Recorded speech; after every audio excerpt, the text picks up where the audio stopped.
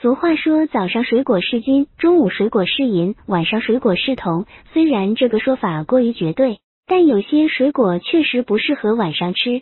最近哈佛大学研究表明，以下这五种水果不适合晚上吃：一、芒果，芒果含有较高的糖分和热量，容易造成身体负担，且可能会引起消化不良和肥胖等问题。它含有的果酸和粘液质容易刺激胃肠道产生不适。芒果具有一定的通便作用，如果在晚上食用，可能会影响睡眠，导致夜间频繁起床上厕所。对于一些过敏体质的人群，芒果也可能引起过敏反应，特别是在晚上食用，容易导致夜间过敏症状。二、橙子，橙子含有较高的糖分和酸性，晚上摄入过多可能会刺激肠胃，导致胃酸分泌过多。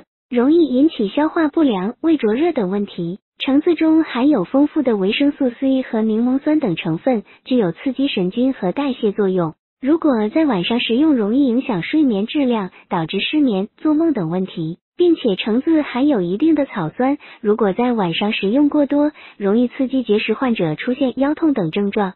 三、香蕉，香蕉是一种高热量和高碳水化合物的水果，容易造成身体负担和引起体重增加。香蕉中富含钾离子，过量摄入可能会导致肌肉疲劳、心悸等问题，严重时甚至会对心脏和肾脏产生不利影响。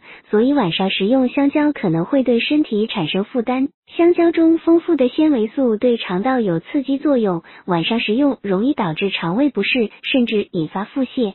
香蕉中含有较高的糖分，晚上摄入过多会导致血糖升高，使人兴奋难眠，影响睡眠质量。